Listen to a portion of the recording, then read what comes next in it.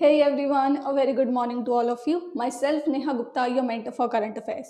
So, this is the beginning of the new year. I hope that you all are fully charged to start this new year with something productive as part of your resolution. I know that majority of us tend to have resolutions which do not last for long. That's the sad part of it, but we have resolutions. So, do you want to know what is my resolution for this year? My resolution is to serve you in the best of my capacity by uh, making the current affairs as easy as possible for you all to memorize. So, let's begin on that note with the first question. But before moving to the first question, let me inform you that this PDF is downloadable.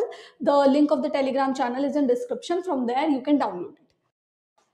So moving towards the first question, which country has committed US dollar 100 billion for investment and infrastructure creation in India, which will help achieve India's export target of US dollar 400 billion in this financial year? Here the right answer is option D, UAE. So guys, this is uh, basically the information given by the Union Trade Minister Piyush Goyal, uh, Trade and Commerce Minister, that uh, UAE has committed this much of amount for creation of infrastructure in India, and this is a part of foreign investment also in India. Okay, and India's target is to achieve US dollar 400 billion exports in 2021 to 2022 which is historic in itself. The target is such uh, uh, such huge that it becomes historic in itself. Okay uae will become a ga- gateway for indian trade to middle east and africa. So basically by using uae india is also going to expand its network of exports in the middle east as well as in africa Moving on to the next question, what is the MSP for fair average quality of milling copra for 2022 season? The right answer is option is E, rupees 10,590 per quintal. Now recently Cabinet Committee on Economic Affairs has decided to increase the MSP on copra. Okay, so we have two types of copra, milling copra and ball copra or and on both of these uh, copras the MSP is provided by the government.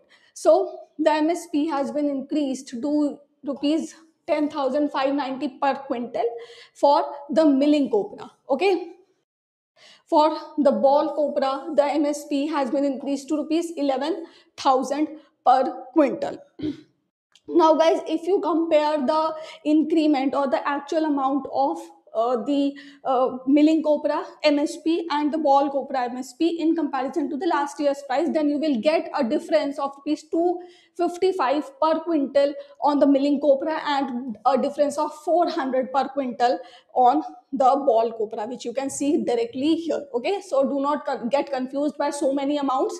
These amounts are just telling you the difference between the last year and the current year's uh, MSP. Now, which amount do you need to remember? The amount, this one, okay?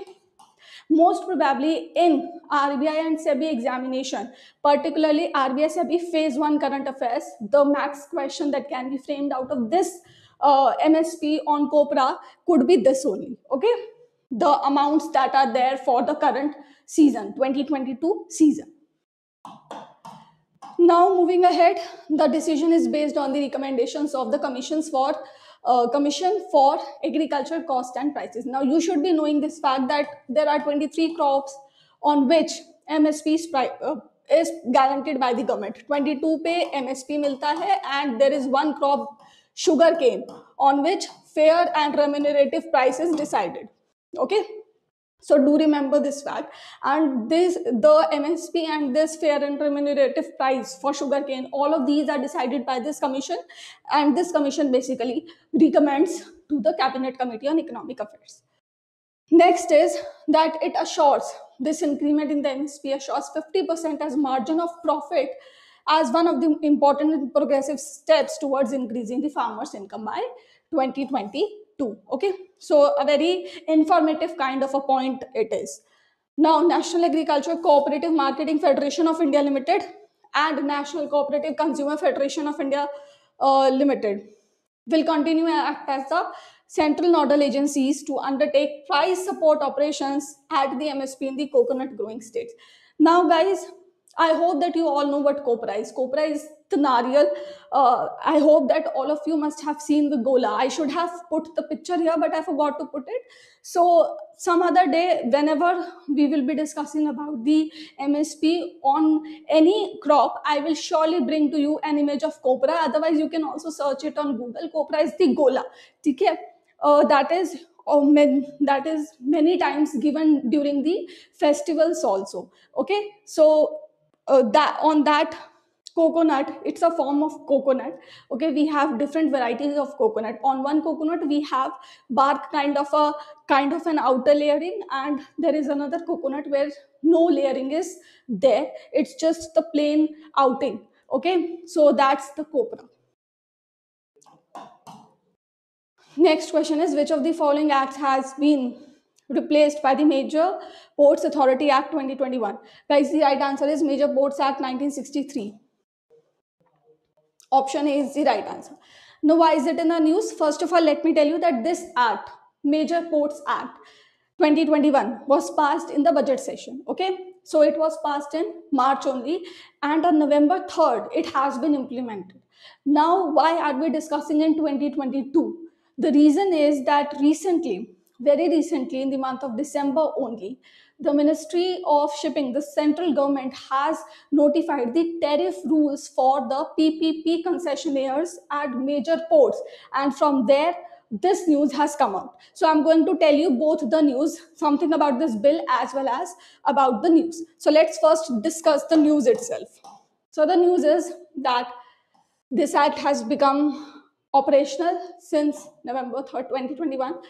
In order to fulfill the objectives of this act, which are which we are going to discuss a bit later after discussing this, the central, the Ministry of Ports and Shipping and Waterways has announced the tariff guidelines 2021 for the PPP projects in major ports. So basically, let me tell you what this PPP concessionaire is.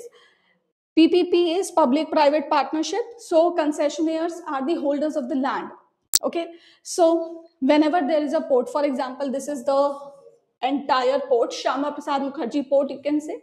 Okay. So here suppose this much of land has been given to Adani. It is just an example okay. Under the PPP partnership public private partnership. So basically the under the operation of this entire port this is one of the major ports okay. So it is probably it is also possible that the entire port has been given on a grant or on a concession to this company. But we are taking this as an example therefore i have just taken up this much area only okay? So suppose this is the ppp uh, partnership. So the operation in this much of area will be carried out by the adani.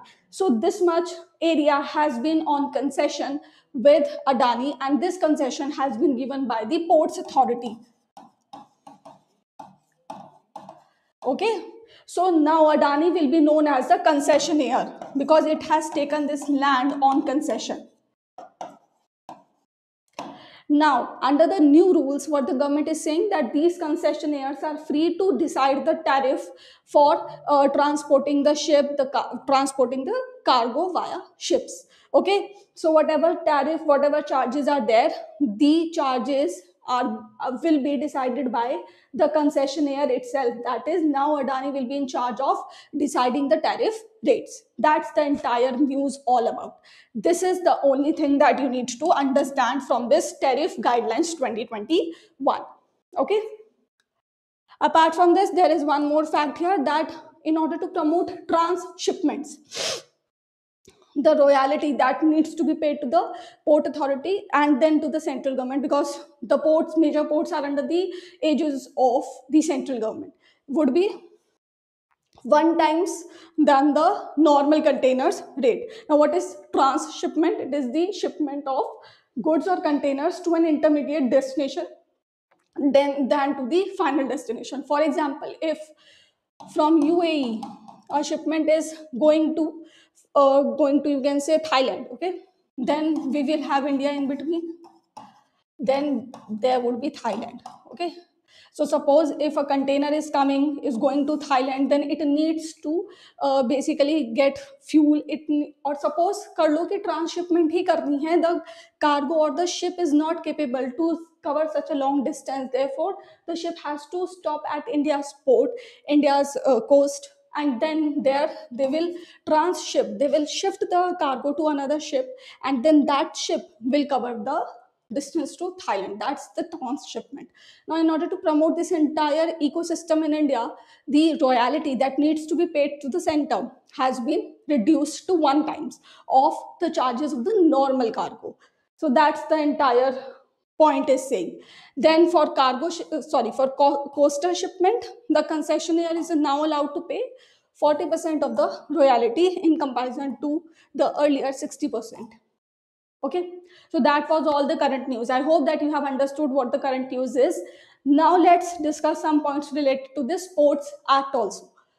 So first of all it seeks to amend this major act. Now it has uh, basically precised the uh, sections. 276 sections earlier there were 134 sections. So in order to reduce the ambiguity within the act the number of sections have been reduced the basic major purpose of this act is to decentralize the operations of major ports. Therefore the or, uh, the ports have been given the operational autonomy. They can now take a number of decisions in relation to uh, the loans that they need to raise in relation to the land that they need to acquire etc etc without going to the central government to ask for their permission. So this will reduce the red tapeism as well as delay in the functioning of the ports. And through this the central government is aiming to make the major ports of india as the world class ports. Okay? And we all know that 90% of the export import business is done through the ports. So if the port ecosystem is developed in india definitely india's economy is going to get a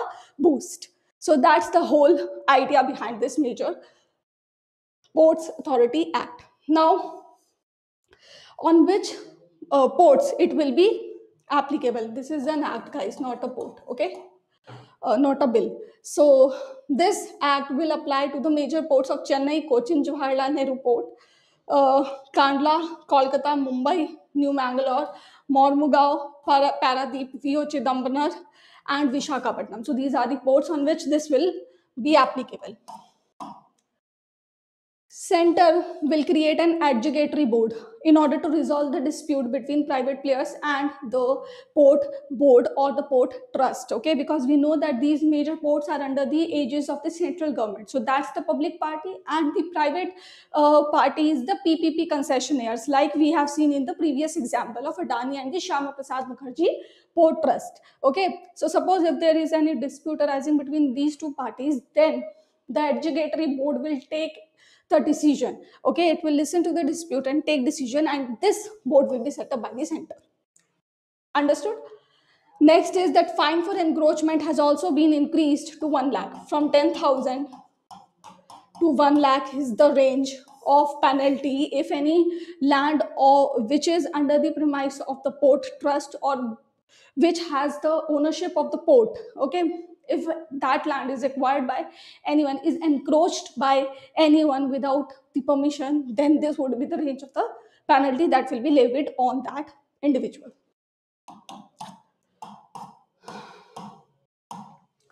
Moving ahead we have the autonomy part of this uh, act. So what kind of autonomy is being given to the major ports? First of all uh, the major ports will now have a board instead of a trust. Now, you must have heard about Jawaharlal Nehru Port Trust, Shyama Prasad Mukherjee Port Trust. So, these major ports, ports used to have trust, but now they will have board under this new act. The strength of the board has also been reduced to 11 to 13 from earlier 17 to 19 members. Now, the new board will have this much of strength. Who will be the members? Chairperson होगा deputy chairperson and both of these will be selected by the center. Okay? Then one member from the state from the center from the ministry of railway defense and custom department each and two members from the employee board. Employee board that is the uh, board of the employees working under the port uh, port board working for each and every major port. Okay then we have 2 to 4 independent members. 2 is the minimum limit 4 is the maximum limit of independent members that can be a part of the board of any major trust. Major trust can enter a number of contracts okay? Of all the contracts the one um, the one of the most important autonomy that is being given to these ports is to raise loans now they can raise loans above 50% of basically up to 50% of its capital reserve. But if the port needs loan that is above the capacity or above this limit then it has to seek the permission of the central government. Okay now what is a major port in india? Any port that is designated as, as the major port by the center via a gazette notification the major ports come under the union list and non-major ports come under the concurrent list okay so that was all i hope that now you have understood the importance of this act now this act aims to decentralize the management of the ports okay so this is basically a good initiative on the part of the government Moving ahead, we have next question. Which of the following is the prime objective of NSE prime framework? So here, guys, the right answer is option E. The right purpose of this NSE prime framework is to allow the listed companies to sign up for higher governance standards. Okay, National Stock Exchange has uh, has uh, put out this NSE frame, prime framework for allowing the listed companies to sign up for higher governance standards than what is required by the law. Now, one of the most important questions that can be framed, up, framed out of this uh, news is that from which country was NSE inspired to release the NSE Prime framework? Okay, so here the right answer is Brazil. From Brazil's Novo Mercado. So this is the voluntary compliance platform in Brazil also. So from here, the NSE was inspired to have such a framework within India itself. So this is a very important part of this entire news. Which company has launched India's first health locker integrated with Ayushman Bharat Digital Mission? The right answer here is option D, Doc Prime Technologies. Now, basically, they are going to give you the facility of digital lo- locker okay where you can just keep your files keep your health id and etc etc whichever uh, facilities being given to you under the ayushman bharat digital mission you can just keep them safe within the locker. Now understand that the prerogative to issue the health id is still with the central government. This private organization is just giving you the facility of a locker okay? For example we have different kinds of softwares that allow us to keep our files stored. For example google cloud. We have microsoft onedrive also. So these are just the cloud platform. Similar would be this platform that will allow you to have your files saved at one place okay? But the right to issue the health id the right to look into the health id all of that would be the would be with the central government or the state. Uh, basically, the center is in charge, but this news is all about that.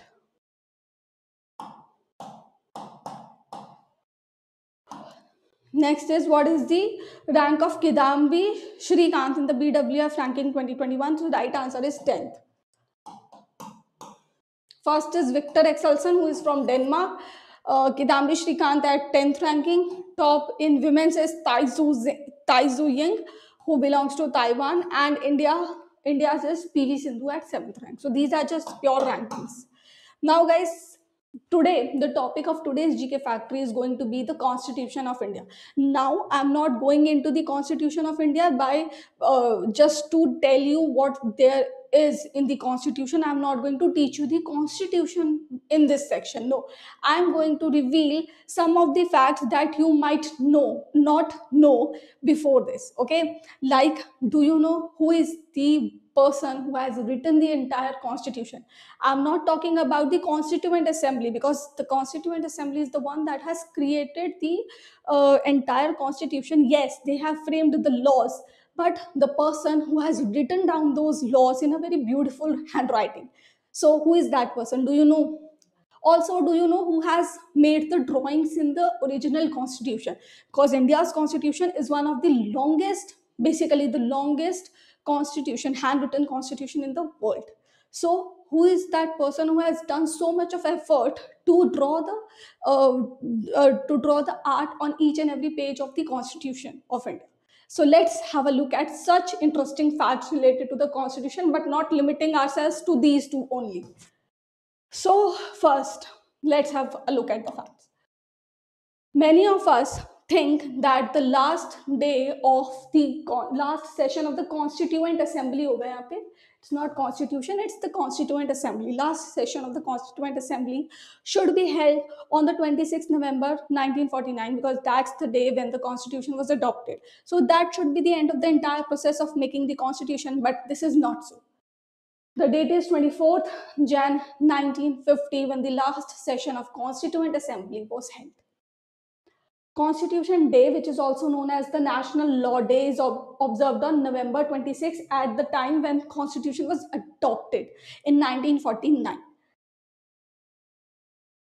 First Republic Day is celebrated on January 26, 1950 because from this day the constitution was implemented. So this is very basic. I know that you all know this.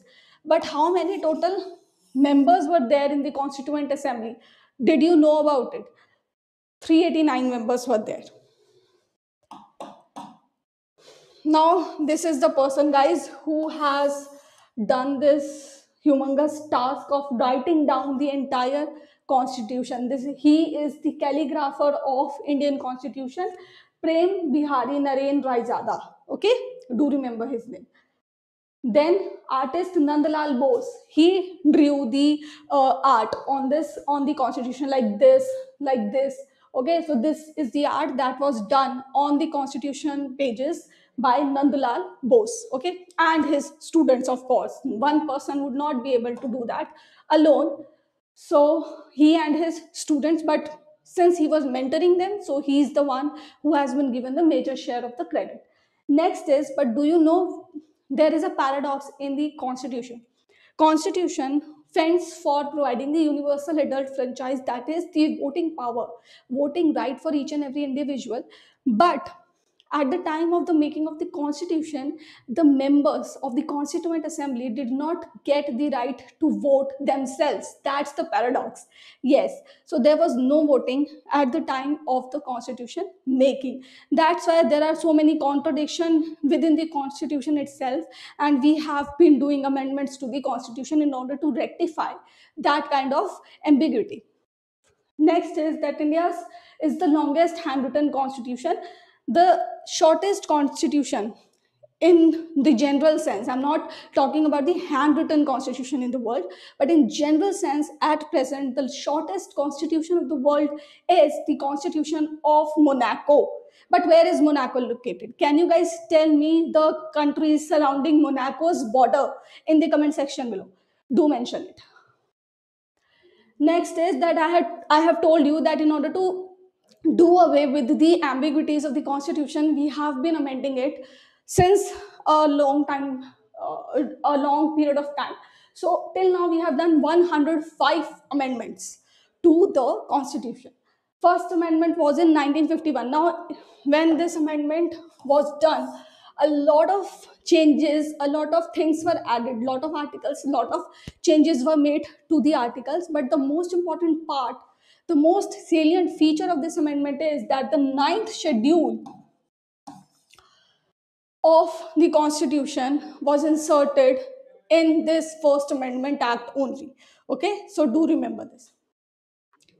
Latest amendment is the 105th amendment that was adopted in the 105th constitutional amendment act that was passed in august 2021 to restore the state's power to make their own OBC list. So this also we had discussed in the daily current affairs video only. Now, guys, this is the last portion of the GK section, uh, GK factory section, where I'm going to discuss the foreign influence on Indian Constitution. So I know, I hope that you all know that the entire Constitution was not the brainchild of the Constitu- Constituent Assembly. They have taken, they have ins- they have uh, taken some parts from other countries also. So the majority part has been taken from this. The government of india act 1935 we have federal scheme office of governor judiciary public service this is service.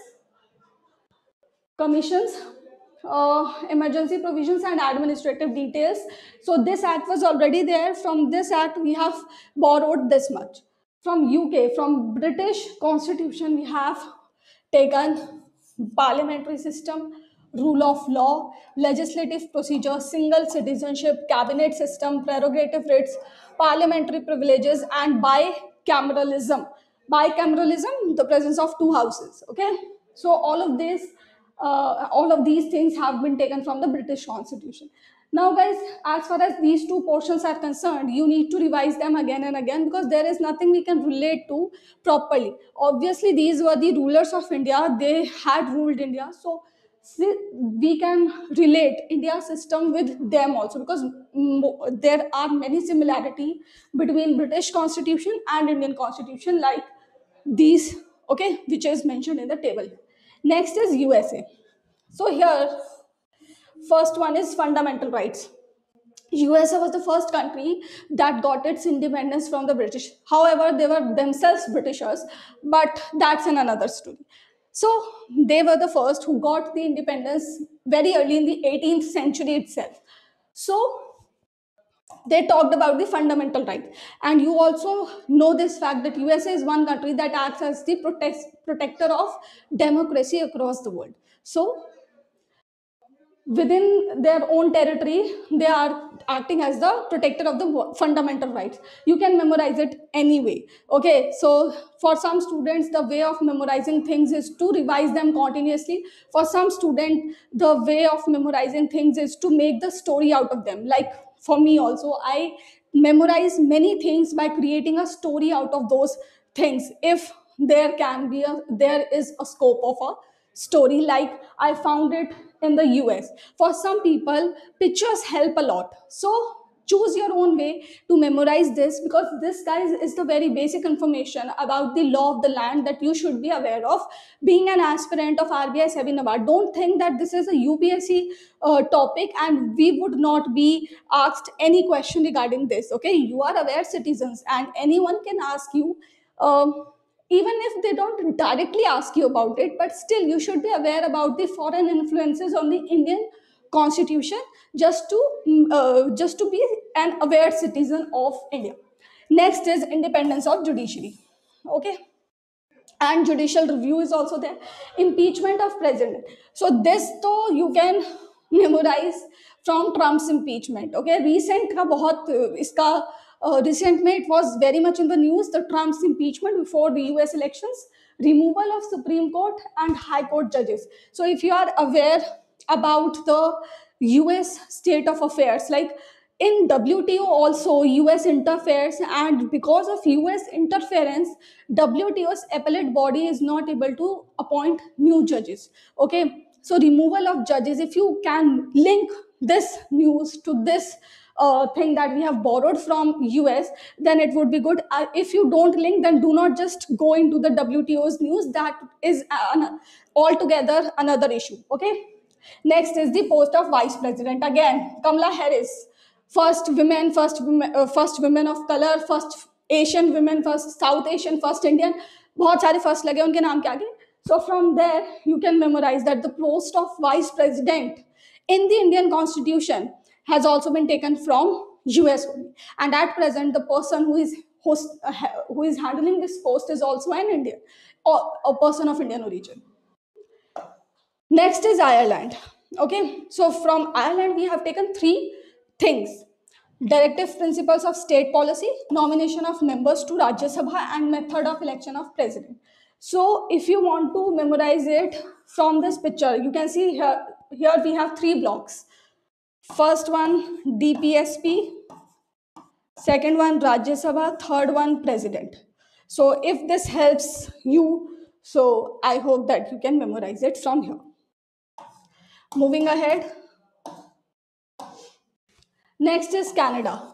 Okay. Federation with a strong center vesting of residuary powers in the center appointment of state governors by the center advisory jurisdiction of the supreme court. So these are the four uh, things that we have taken from canada. Next is australia. Concurrent list freedom of trade commerce and intercourse and joint sitting of the two houses of parliament. From germany suspension of fundamental rights during emergency because ये तो बहुत ही easy है याद रखना। You can all relate to this if you want to suspend the fundamental rights of the citizens and become an autocrat like Hitler so this is the best way to do that do impose an emergency and then suspend the rights of the people the fundamental rights of the citizen so this we have taken from Germany next is Soviet Union so this was the earlier flag of the Soviet Union and this is the current flag of Russia okay? From here, we have taken fundamental duties, ideal of uh, justice, social, economic, and political in the preamble. So, if you are a bit aware about the Re- Russian Revolution, then you should be know, knowing this fact that the seeds of the Russian Revolution was the social was socialism. Okay, to have uh, the to have justice in terms of social justice, economic justice, and political justice. Also, to have the fundamental duties. So these are the things that we have taken from the Soviet Union. Next comes France. Republic and the ideals of liberty, equality, fraternity in the preamble. I think this is the easiest of all. Next is South Africa. From here, the procedure for amendment of the constitution and election of the members of the Rajya Sabha. Japan, we have taken the procedure established by law. So, guys, even if you haven't been able to memorize the entire table, you don't need to panic. First of all, this is something that would not be asked from you directly in your phase one of RBI SEBI NABARD. So even if you are not able to memorize it, don't just mug up it. Okay, mug it up. You if you revise it two three times or maximum 10 to 11 times then you will be able to memorize the entire table and even if you are not then just knowing two to three parts like we have taken the principles of dpsp from ireland the parliamentary system from here the suspension of fundamental rights from here the socialism idea in the preamble from here. So if the equality liberty from here the sovereignty of the center the uh, the strength of the center from canada the appointment of governors from canada the fundamental rights from us then it would do good for you. Now i have given you this entire map. If you want you can just print it revise the table many times and then you can just write making this kind of a block on the sheet if you want to do this exercise. I just gave you this so that it will help you okay? And here i would like to end this session. Thank you so much guys for watching this video. If you like it useful. Uh, if you like this video and find it useful then do not forget to subscribe the channel hit the bell notification. Thank you so much guys